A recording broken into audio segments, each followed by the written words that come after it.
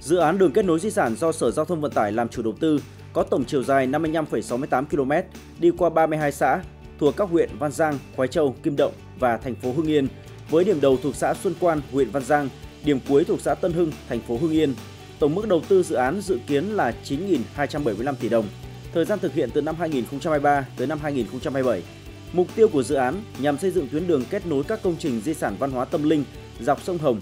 Thăng Long, Phú Hiến, Tam Trúc, Bái Đính, Chùa Hương, kết nối giao thông vùng Hà Nội, Hưng Yên, Hà Nam, Ninh Bình. Triển khai nhiệm vụ công tác tuyên truyền, vận động dự án đường kết nối di sản, Ban dân vận tỉnh ủy xây dựng kế hoạch tuyên truyền, triển khai thực hiện dự án trong toàn hệ thống dân vận từ tỉnh đến cơ sở gắn với các phong trào thi đua dân vận khéo. Mặt trận Tổ quốc tỉnh chỉ đạo các tổ chức chính trị xã hội tích cực vào cuộc tuyên truyền vận động, phát huy vai trò giám sát phản biện các nội dung liên quan đến người dân trong vùng dự án, đồng thời tổ chức lấy ý kiến cộng đồng dân cư về các nội dung, chủ trương đầu tư, vị trí thực hiện dự án phù hợp với quy hoạch chung của tỉnh và các địa phương về tác động môi trường khi triển khai dự án, công khai thông tin về chính sách bồi thường, giải phóng mặt bằng, hỗ trợ người dân khi thu hồi đất.